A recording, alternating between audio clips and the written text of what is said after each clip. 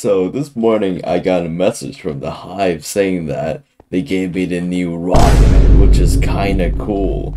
So, well, I mean, I have to make a video on this. Wow.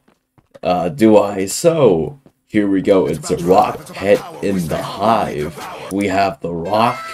That is kinda cool. And look at this. The googly eyes, you know, it can't move. It stays here if you go, if you abandon it, uh, well, it's not gonna follow you, it's still gonna stay there.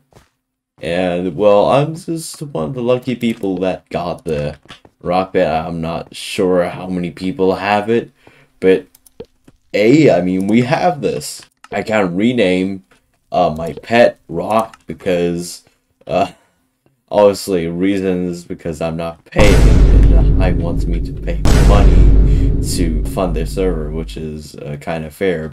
And, well, I mean, we have the rock pet. Let's, uh, you could, you could call it Dwayne Johnson, or, I don't know, Chris Rock or something.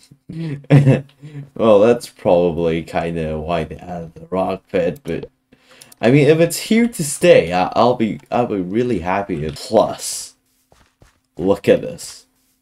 April's, we got this.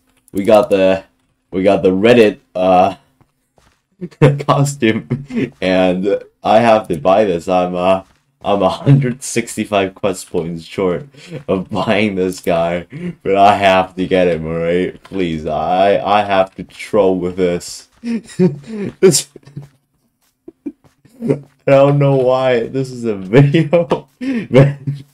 okay yeah, this is like a two minute video of me laughing at the this guy and the and Chris Rock as a vet.